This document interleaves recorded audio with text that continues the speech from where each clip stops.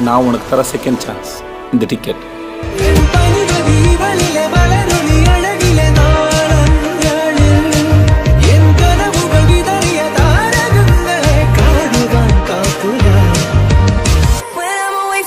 miss your touch.